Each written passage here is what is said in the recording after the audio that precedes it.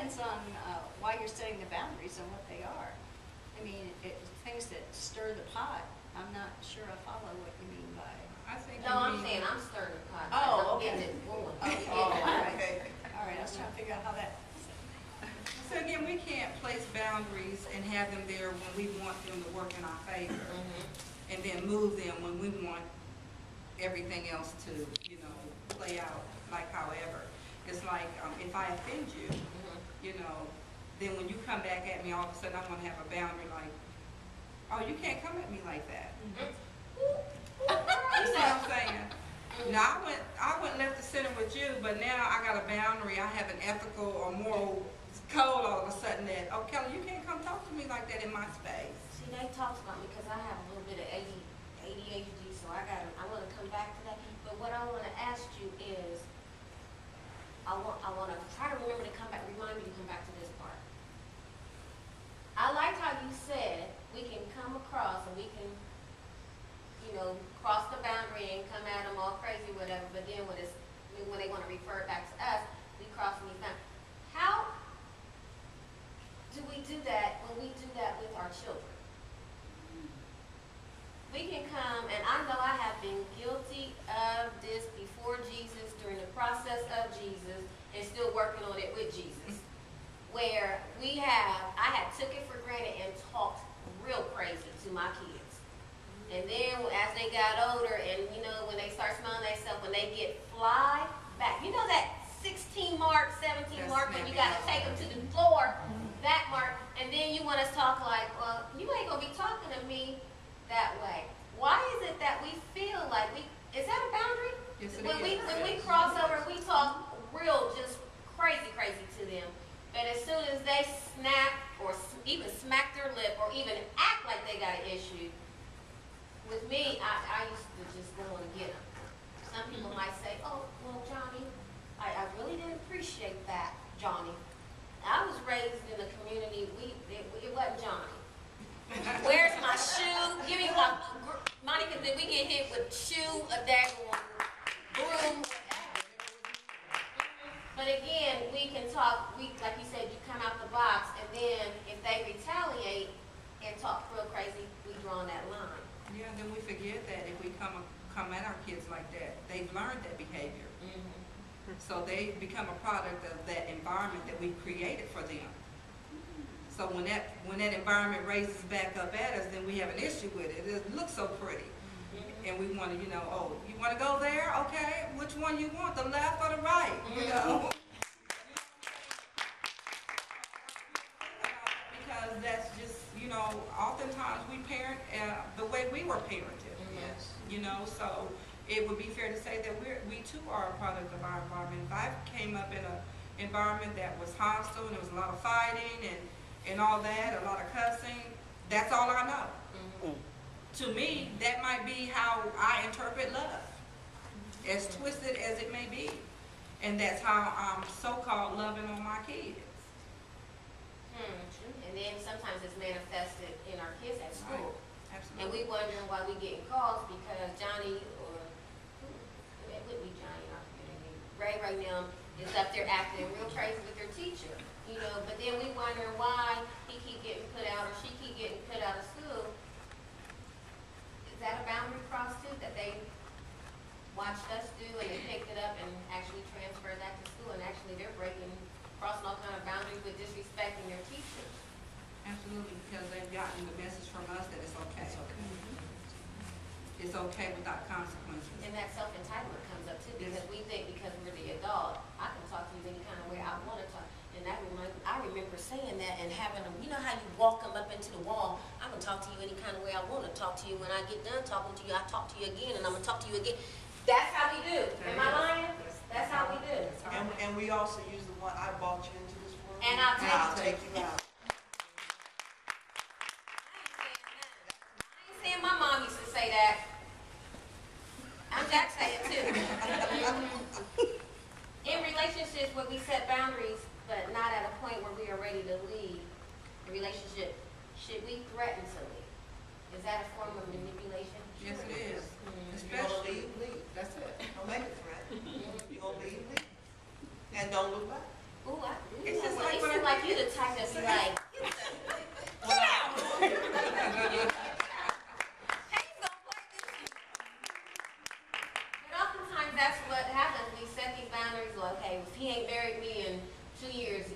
I'm, I'm, I'm, I'm out of here, I'm out of here. Yeah, but then it comes to ten years and you're still mm-hmm. saying, okay, well, next year. That's crossing that So line. That's should we moving that even, line. should we even mention it? When should we set, even if we're feeling like we, we, we're ready to make, to draw the line in the sand, should we even talk about it be- before we're actually ready?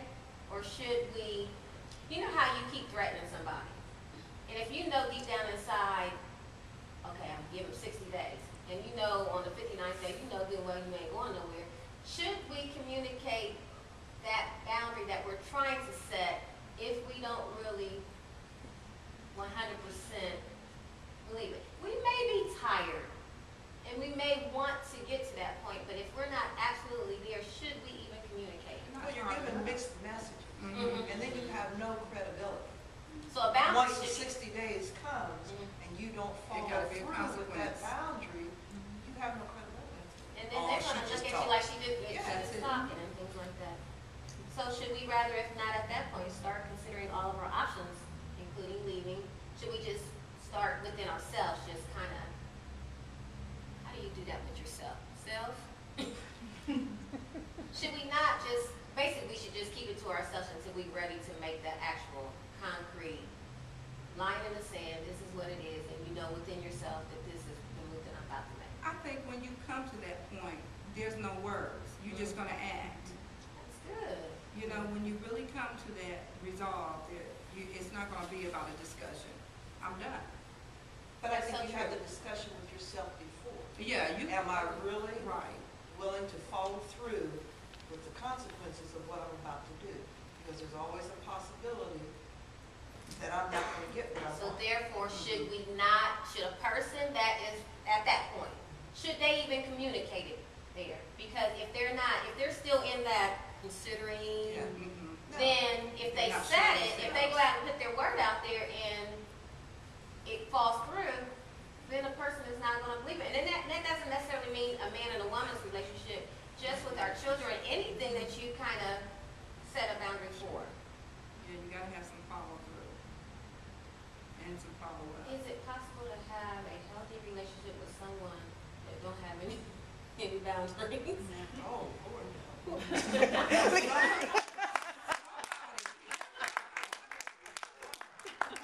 Somebody is gonna be purely schizophrenic. And I can't say that I would be one up for that kind of a roller coaster ride, mm-hmm. cause it's enough to deal with me.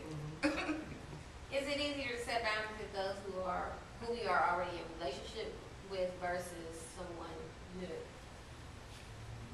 Someone new, Easier Someone with the new. person. Probably because there's no history. history there, there's no emotions Yes. attached and things like that. So yeah, so there probably is easier to set. And you would learn from some mistakes. Hopefully. So let me ask you this question. Let's talk about boundaries within, with our children as far as like our grown children that go off to get married. Should mama, auntie, and cousins, or sisters, should we be in that? Like decision making, should, should this person run back to mama and them and tell all the business, get everything stirred up, or should that person go back to their husband and say, Mom said I should do this, and my sister said, and they do it like this over there? If you wanna get a divorce. Yeah. Um, no.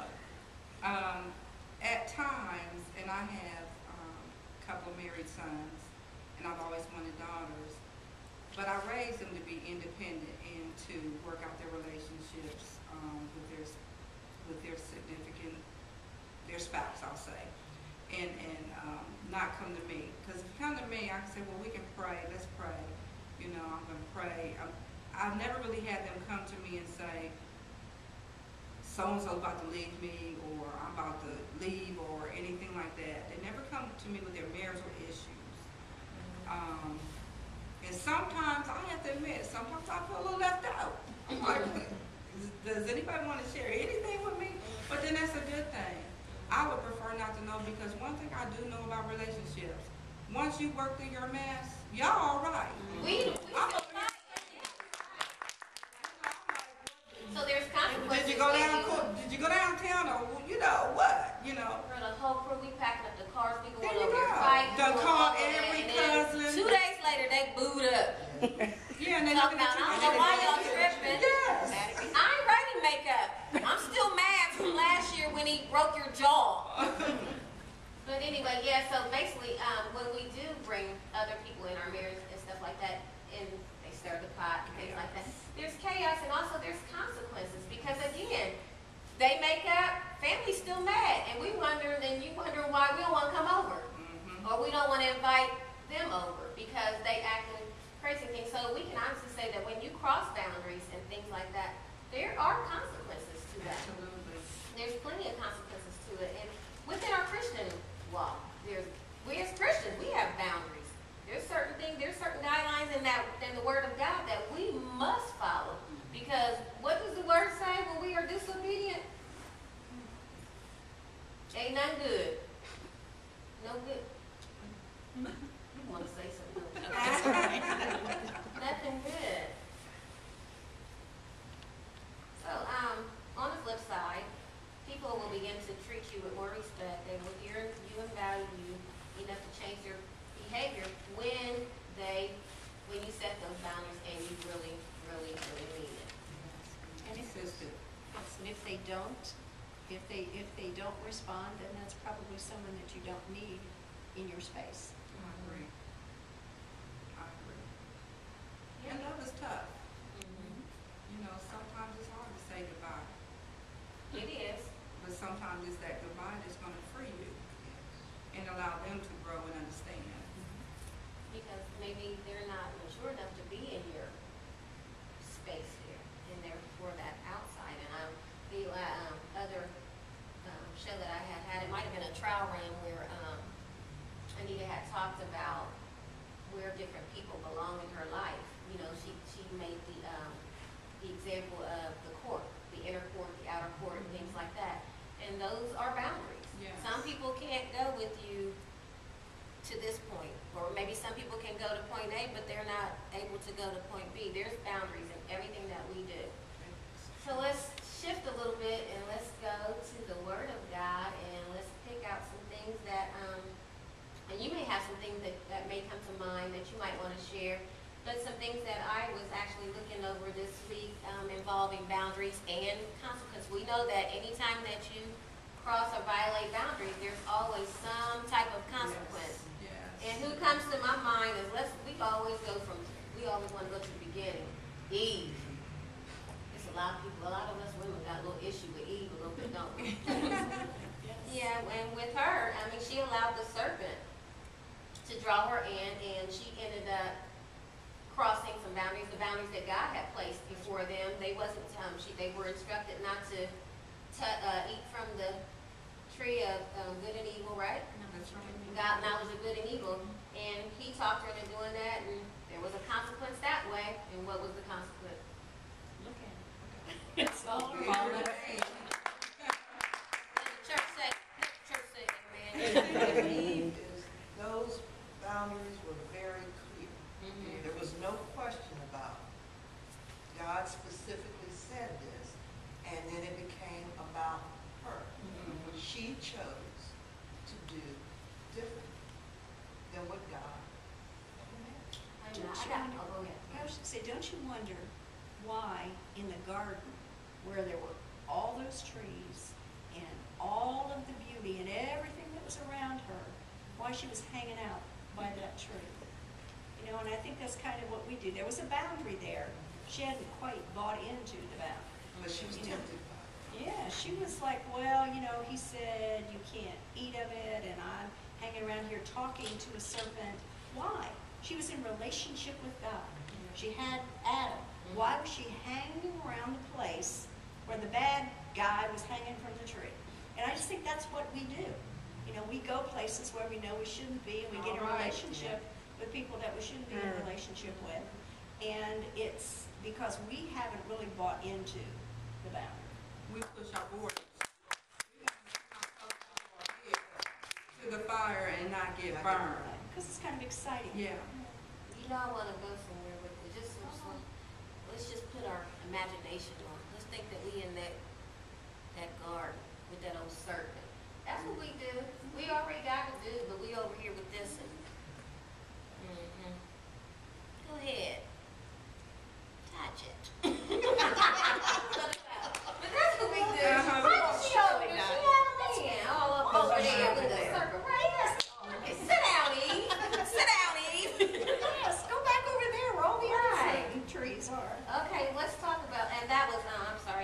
scripture, Genesis three.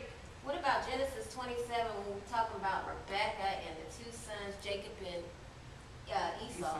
and how she got all up in the mix and devised that plan and, Mhm. and coerced, um, Jacob into tricking the father into blessing him for the birthright of, um, that rightfully belonged to Esau. And see, again, that mother, all up in the mix, crossing lines and things like that. And then that ended up, the consequence of that, it caused a lot of family issues between the brothers. Um, hostile, you know, Esau was hostile for a while. Remember, he was ticked. Yes, yes. And it caused Jacob to leave, and he ended up becoming a victim of his own, you know, sometimes would go around, come around, and the same stuff that kind of what happened to him, he was dealt with the same way by his uncle. And then Second Samuel eleven, that David and Bathsheba situation, let that son, he out there looking, she don't taking a bath. Girl, can you imagine somebody looking in the window while you taking a bath? I wondered if that she know he was looking. Yeah, I wonder if she, if she knew, looking up at the king. You thought she looked up at him. I have Well, her husband had been gone at war for a long But time. but anyway, with that, you know, um, David, he crossed boundaries, you know, adultery. He slept with another man's wife, got her pregnant, and then tried to cover it up Mhm. by tricking him into going to sleep with the wife, but he wouldn't do it, and then had him killed. But you know what tripped me out about that? He, David was something else. He planted that He thing. put the daggone note, the execution note, Yes. gave it to the dude that he was gonna have killed. He had to take the note to the other man and say, basically the note said, kill me, kill me, here, Yeah. kill me. Yes. But anyway, and, th- but see, the consequence with David is there was a, the son that, that she was pregnant with, he didn't live. And then God cursed of David, said that he was, the sword would never leave the, leave his house, if I'm not mistaken, right? And, um, his sons, going down the line, ended up murdering and doing all kinds of things. And then, um, Ammon and Tamar, she was violated, a boundary was crossed, she was raped. And the consequence was, consequence that he had was Absalom, his brother, kill him because of the of- offense. And, and the list goes on and on and on. We have Solomon intermarrying, you know, he was told not to do that. And by him messing with those type of women caused him to follow after those foreign gods. And we see where that got him. Um, it actually trickled. Because sometimes it may not even, the consequence may not actually fall on us per se, but it actually fell on his successor, which was his son. And that's how the, the kingdom got stripped from him. And remember, he was only left with, well, Rehoboam was only left with one tribe. Mhm. So boundaries do, when we break boundaries and cross boundaries, there are consequences. And they're not set up necessarily to keep us like, what word am I trying to use? Keep them like from having fun or to live. Most of the time they're used for protection. You know, they're used for our protection and things like that. So ladies, I, see clearly that we have problems keeping our own boundaries even sometimes.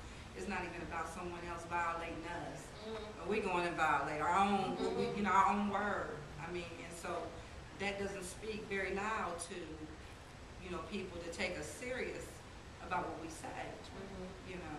Um, and clearly we've seen that through biblical history. Oh, I do have to go here. Um, there was, um, actually on Facebook, I had told the young lady that I would actually try to address, um, her issue tonight about boundaries. She was wanting to know, how do you set boundaries or how do you recreate boundaries when she had a relative that stole from her identity?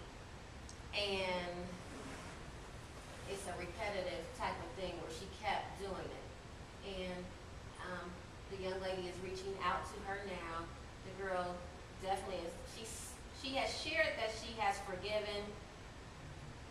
I don't know necessarily if that that might be what she feels that she has done. I don't necessarily know if that would be considered forgiveness when you just tell when you say, I don't want nothing to do with them how do we regain boundaries for someone that has violated them, but now wants to be restored, but may have violated it over and over and over again. How do? Has it been seventy times seven? I, I don't know. I know that it's been quite a bit that she has shared, um, that this person has done this, but how do we reestablish boundaries that have been? I think we always have to love the person, and we have to forgive the person. And we have to get beyond that feeling like, I never want to see you again because every time I see you, it reminds me of what you did to me. Mm-hmm. Because, well, we're told to. You know, and if we expect God to forgive us and we sin over and over and over and over again, and Jesus mm. continues to cover our sins, then we have to go to the same, we have to go to the same place with, with that person.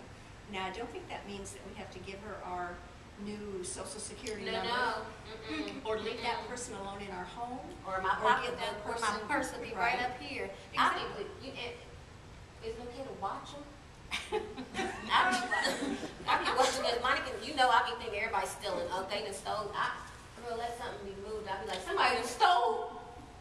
But yeah, so you're saying basically what we would say to her is, I forgive you, I love you, and don't come to my house. No, Or maybe some of that has to be reestablished slowly. We don't just jump right back into there. I mean, maybe the boundary before might have been where we could sit right here. Maybe now, you might have to sit over there for a minute. And then every time that we may have an encounter or whatever, maybe I can bring you closer and closer. But right now, you ain't right here. You way down, you gotta be way down there. You on the porch.